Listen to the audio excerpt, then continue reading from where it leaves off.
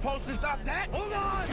We going wild. We on the loose. People And his name is John Cena.